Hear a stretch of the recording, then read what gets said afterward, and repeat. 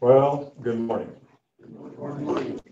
Those Haiti pictures back there are kind of enlightening about, we started those little kids that were skinny armed and starving and everything. And now they're healthy and they're being educated and good things are happening. Uh, God is good, we're, just continue supporting it. That one little girl, I called Beverly, I said, I found this little girl I want to bring home. She says, don't you dare bring the little girl home. with you." And I said, well, I can't because she has a mother. Well, her and her mother, they were from this little bird called it- They had their school in just a thatch thing, just had a roof over it. That's where the church met also. And, uh, they, uh, came in for that. But I gave them some shoes that I'd been able to get together. QR Special gave me some and some other people donated. And I gave them some shoes and now she's a senior in high school and twenty years old and just beautiful. So just keep up the good work. Well, you know, last week I told you I had such a bad week. Well, this week I had a good week and a bad week. The good week was I remembered to go to my class luncheon on time. You know, last week I went a week early. Don't a minute. But then I really had a good time. Uh, we gave our granddaughter and her family a time at Pagosa, Colorado for a vacation. So Tuesday, I went to lunch on time, and Tuesday night, I get this call from this little boy. Remember I told you the little boy that had the heart problem that, well, he's up there with his folks. Grandpa, they call me grandpa because their grandpa they call cowboy. So I'm grandpa to my great grandkids and my grandkids. Grandpa, we saw bear, we saw bear. I said, what? I said, "Bro, what's he saying? He said, he said, we saw bear, we saw bear. Well, they're riding in Pagosa, they saw a bear in the creek trying to catch a fish. And so that just made for a real good story. But then the week went downhill because I played cards with Dick Friday night and he won. So uh, that's, that's not, that's not always a good deal for that Dick because he, he kind of brags a little bit about when it happened. Well, this is the fifth lesson in this series of lessons that the elders have asked us to cover. It's called Making Disciples rediscovering the Acts 2 church. Well, what was so great about the Acts 2 church? Well, let me read you what it says here about it. It says, So those who received his word were baptized, and they were added that day about 3,000 souls. And they devoted themselves to the apostles' teaching and fellowship, to the breaking of bread and prayers. And fear came upon every soul, and many wonders and signs were done through the apostles. And all who believed were together and had all things in common. They sold their possessions and goods, they distributed them to all as any had need, and day by day, attending the temple together and breaking bread in their homes, they partook of food with glad and generous hearts, praising God and having favor with all the people. And the Lord added to their number day by day those who were saved. Well, it was a growing church. People were happy. They broke bread together. They prayed together.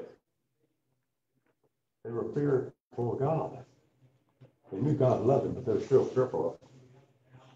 They saw signs that the apostles done. But they were not only doing this on Sunday. What it says, they met when? Day by day, every day. And they were hospitable.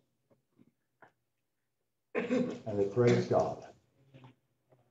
The first lesson in this series was the one about renewal and revolution, how we want the church to be renewed, like the Acts 2 church.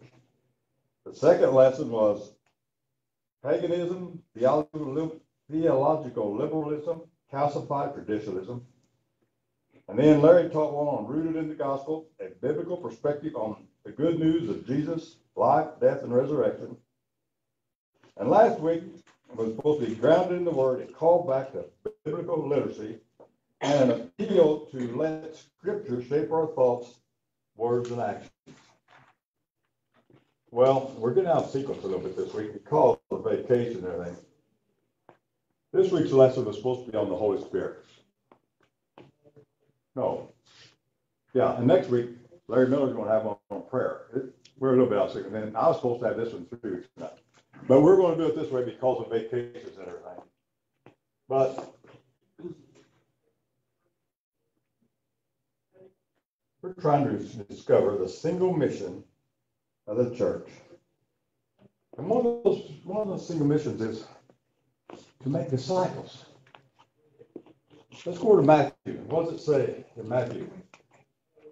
I was raised in the Baptist church, you've heard me say. verse I heard the most was John 3.16. But in, this, in the Church of Christ, this is one we hear very frequently. Go therefore and make disciples of all nations, baptizing them in the name of the Father and the Son and the Holy Spirit, teaching them to observe all that I've commanded you, and I am with you always to the close of age. Boy, that sounds simple, doesn't it? That sounds simple. Making disciples. Well, what is a disciple? What does the disciple, word disciple, mean? Follower. A follower. A disciple is someone who literally follows someone in hope of eventually becoming like they are. What's a Christian disciple?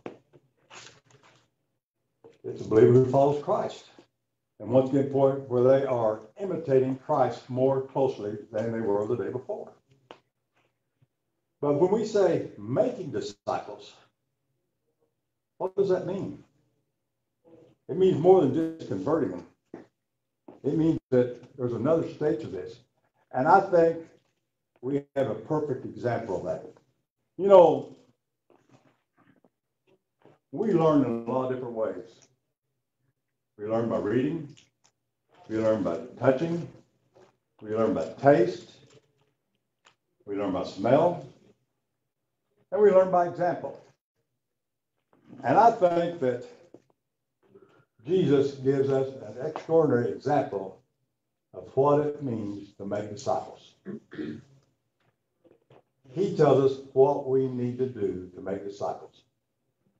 I'm to give you a little, read you a little story now. We can see how, you tell me how this relates to this. It says, Jesus spent most of his time making disciples. This is a story that a guy named Jim Collins.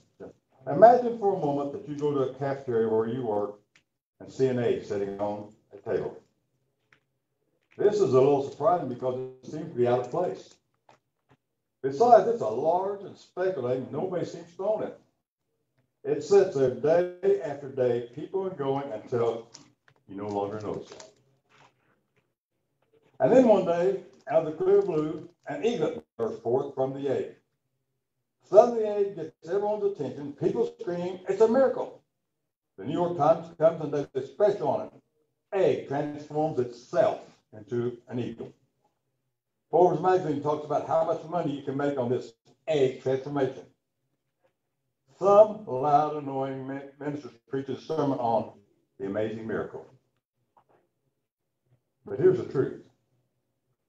For 36 days, a radical transformation was occurring inside the egg. Unobservable to anyone passing by, a fully formed eagle was incubating on the inside, developing a, developing a powerful presence waiting to burst forth. And amazing one day, the eagles burst forth fully formed and soon rises up to soar like an eagle. Okay, see the Acts 2 church. Why did they have 3,000 baptisms one day? Not because they had the best prayer service, the most ministry, ministries, or the slickest marketing campaign. They burst forth onto the world stage because Jesus had spent three years making 12 disciples, incubating them in the love of God, the truth, and the mission. On the outside, not much was perceptible. In fact, the disciples seemed rarely to get it on the outside, but on the inside, powerful transformation was occurring because Jesus was personally crafting his disciples. And when Acts 2 rolled around, the egg broke and the disciples broke, broke forth. And the church has soared ever since. If we want to be like the Acts 2 church, we have to make disciples of people. We have they have to be disciples. And that is that, oh, it's in this one. That is so important about how do we do it? How did Jesus deal with his 12 disciples? I mean, these are people that They weren't geniuses, were they? They weren't swabbing the boner. What did he do? He spent time with them. And in fact, he not only spent time with them, he lived with them. He did all these wonderful things with them, teaching them, and like it says here, they didn't get it. And guess what? After the three years, what else happened? He came back, what else? What happened for 40 days? He spent time with them again, right? 40 days. He spent more time with them, even after he'd spent these three years with them, getting them ready for what was going to take place. And when did that happen? It happened when the power came. And what was the power that came? Holy Spirit. The Holy Spirit came upon them. So if we're going to disciple people, we need to make sure we take the time, spend it with them to help develop them to that point. Well, I've got so far ahead of myself, it's unreal. I've completely skipped one page here. I want to talk about last week, but the lesson I didn't get to finish, then we'll come back to the scripture. Thank, hold on that thought though. Remember last week we talked about culture norms and how our culture is changing? One thing that I didn't get to mention that was right up, kind of on top of my list, and I, I didn't get a chance to talk about it, was another culture norm that seems to be acceptable today is that of lying. Think about it. Lying is prevalent today. We have an ex-president said he won. We have a president who said the Georgia polls are going to close at five o'clock in the new law. We have a person in Russia saying they're not causing any problems. Lying seems to be more acceptable today than it's been in a long, long time. What happened to you when you were a kid growing up and you told a lie? You got a whipping. You got it. I got the RB award. That's called the red button. My dad would take that paddle and get after me big time. He could not stand people that lie. But we just kind of accepted that as something that's acceptable. On lot, even the Hallmark movies, they have people lying in them.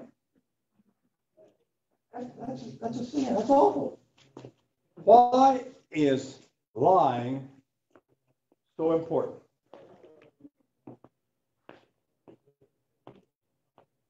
Trust. It's trust. And it's important. It's important to my parents. It's important to you. But it's more important to God. God says, Thou shalt not lie. So that's another cultural norm that we need to be very, very careful of. Because, yes, In my experience, that if a person tells a lie enough times, they believe it to be the truth. absolutely, absolutely. Absolutely. When I was working, I had a guy that was going to be, become a district sales manager for the insurance company I for. And we were in training, he was in training. And everybody said, boy, this guy is going to be the best district sales manager Allstate's had in a long, long, long time. He's got what it takes. While he was in training, I knew that he was running around on his wife. So when it came time, there were three of us, what we call field sales managers. But it came time for us to pick who we wanted as be our first choice for a district sales manager position, I didn't choose him. And my boss said, why didn't you choose Ike? He's gonna be incredible. He's gonna be good. I said, I don't want him. I said, if he'll lie to his wife, he'll lie to me. And if I can't trust him, I don't need that person working for me. You didn't want be working for you, AJ, you couldn't trust that money would, or anything. We have to be able to trust people. And we have to get this point across to our kids and our grandkids and our great grandkids because it's becoming quite acceptable just to do it. So that's another one of the norms that from yes, last week that I, I forgot to talk about. So now we're trying to get back on track about this being a disciple. Larry, Yes. uh, Revelation tells us that the, that liars will have a place in hell. Well, that's another good reason not to lie, then, isn't it? Huh? I think that qualifies right there. I think that qualifies that right there. Well,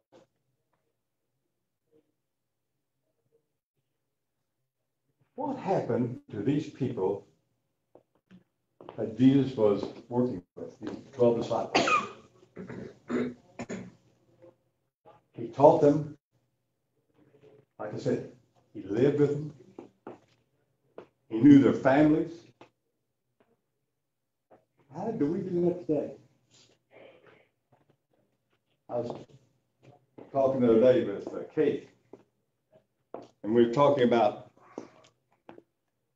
what Jesus really did here was he was mentoring, wasn't it? That's the term we use today, mentoring. The church, our church here, at one time had a program for mentoring. Mentoring. I do not know if it's still in existence or not. Kent Ridley called me one day and asked me to mentor a young man. I will tell you,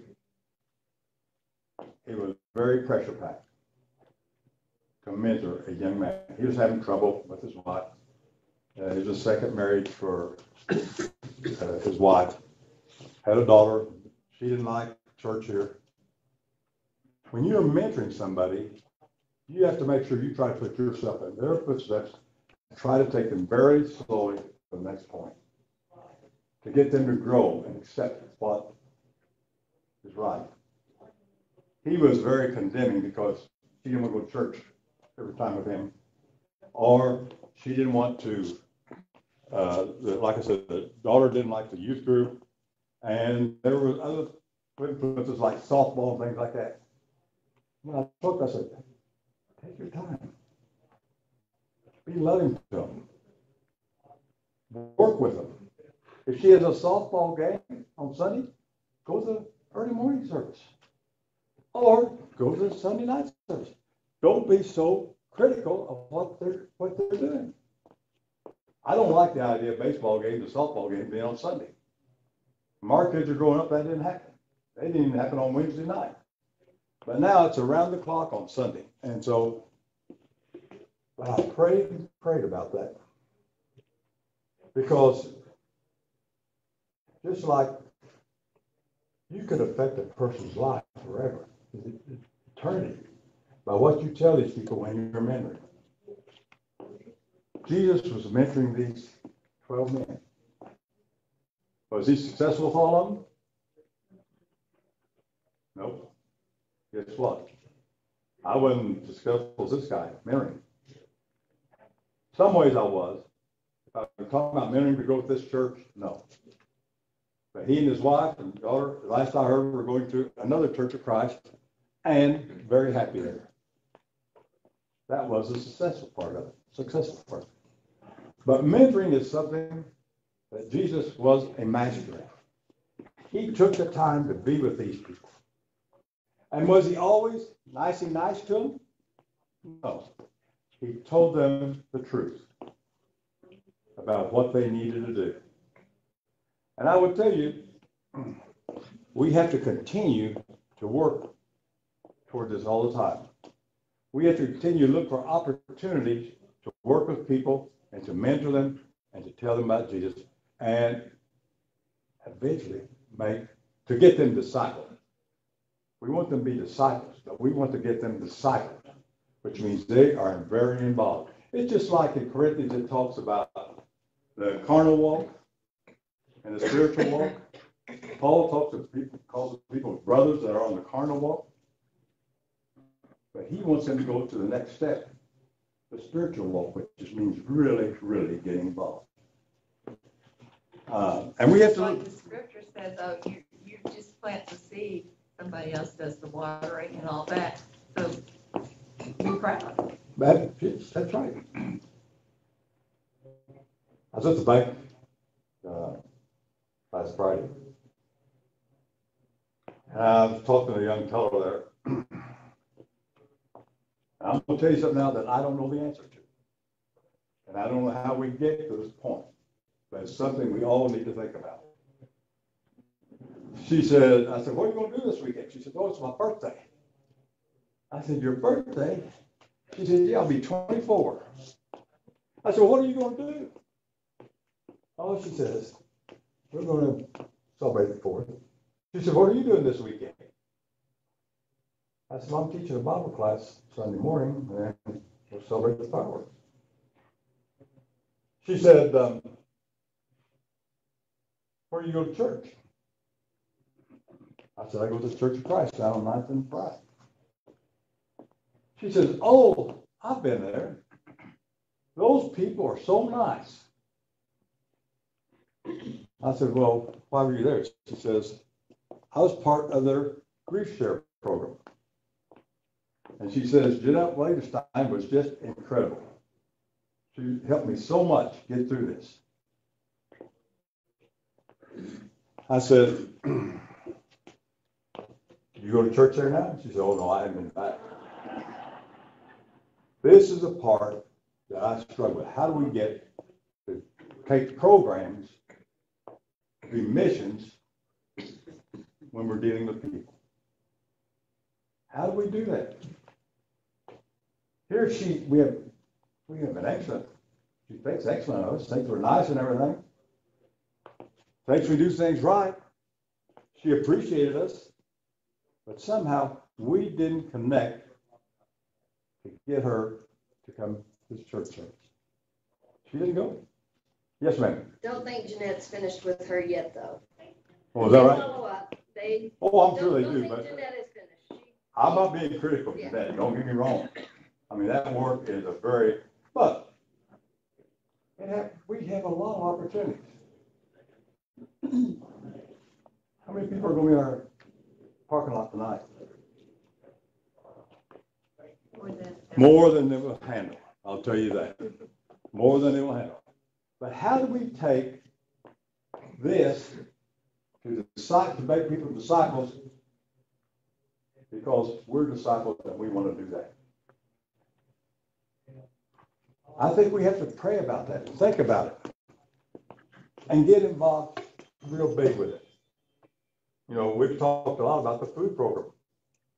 We try to get people's name in there, try to call people. You are special. We try to, we have to be careful what we say there because of the government involvement. But still, we talk about God and Christ and those things. But how do we get these people come and listen and hear about God and become children of God? I'm not smart enough to know that. answer. I think it takes a lot of prayer. I think it takes a lot of effort on every one of our parts. And I think that we need to be conscious of the opportunity to talk about God. Don't be ashamed of it. God loves you. God loves each of them. And he wants us to do that.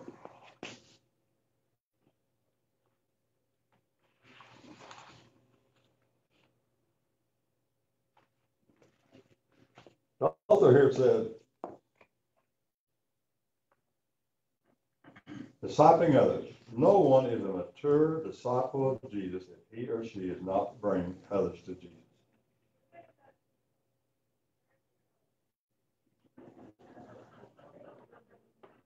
Jesus is to do what Jesus did. Jesus, uh, each, each of us is to follow Jesus and do what Jesus did. Jesus made disciples. Follow Jesus, we have to make disciples also. So, as you go through this week, think about it. Purposes are good. But the mission of a Christian is to disciple others.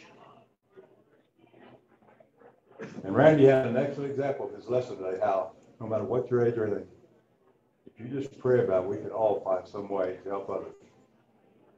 I appreciate how AJ been calling on these people. Discipling others not only means to win new people to Christ, but it's help to build up Christians that are already here. They cannot feel alone. Let them know that they're important to each of us, and we do that.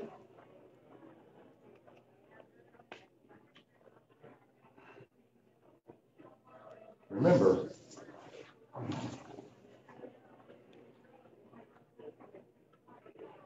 Jesus took 12 men and changed the world. He didn't do it by big, big deals don't work. The Alpha program in Britain has had over 3 million people in their program teaching about Jesus. Church attendance in Britain has not gone up at all. Promise Keepers. It's a great program. It's a great program for youth and everything. But even the Promise Keepers executives say, we need to do more. We have to do better at following up with these programs to make them work. Program nine, if we don't follow up with it, it's good, it's healthy, it's not going to accomplish the job. We have to continually work to reach these people. And just like a mentoring, you have to get to know them personally. This young man I took to dinner, to lunch. We met weekly, we prayed. I got to know him. To really be effective with people, we have to get to know other people. We can't just stay in our little cocoon for our friends and everything. We have to reach out. So as you go through this week, think about that. Think about your mission is to make disciples. We're going in the world. We're, we're helping people. Look at Haiti. Over 500 people were baptized last uh, year before in Haiti. Guess what problem Haiti's having? Huh? COVID. Well, that's, that's not the answer, Dale. We're talking about with these conversions, they are having code problems. They don't have enough people to bring these people to the next level. Because see, if you don't bring them forward, continue to growing, what happens? What happens to you if you just sit around and don't do anything for a few days? Huh? You get weak. You don't it. I'm not saying. But I did that all day yesterday. I, I had another, but if we don't get at it, get involved.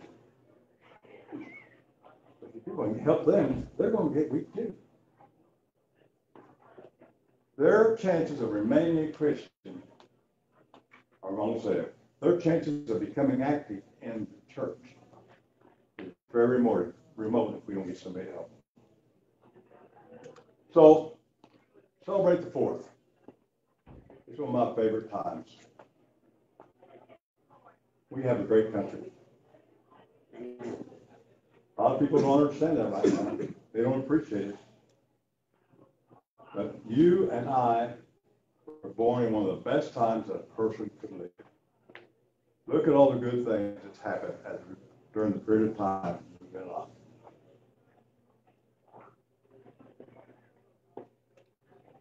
We need to be thankful for that. So, if my lesson today is make disciples, but the key word there is make. Help people become more disciples than they were before. And continue to work on yourself to more disciple. See, we won't ever get to the point where we stop growing. We need to continue to grow every day for the rest of our life. And there's always something you can do regardless of your age. Send a card. Talk to somebody. Say a prayer. Let's say a prayer now. Almighty God, we're thankful for Jesus. We're thankful for the job that he did for over three years with these twelve men.